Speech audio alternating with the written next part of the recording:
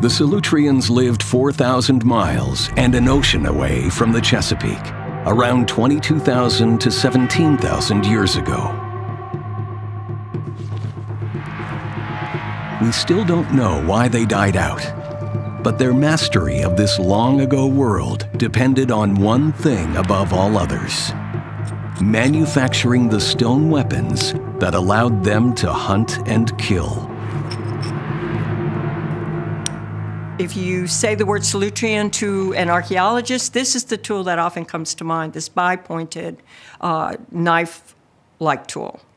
Where it's often extremely respected, it's to have something this long and wide that's this thin.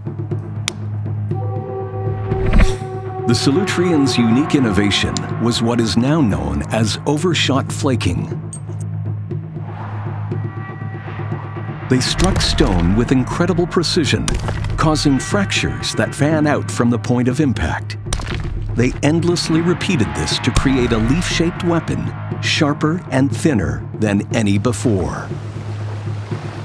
For Bruce Bradley and Dennis Stanford, the Solutrean tools were a revelation.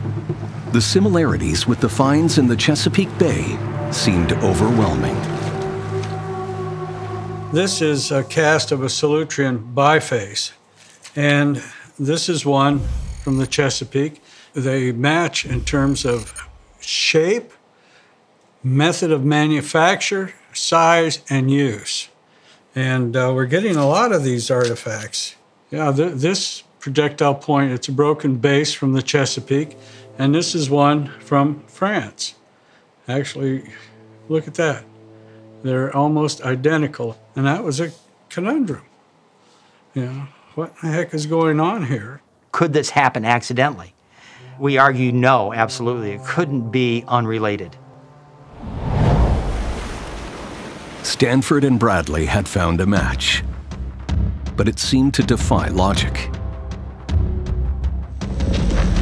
Simple geography means the Solutreans could only have traveled to America from the wrong direction, arriving not on its west coast, but its east.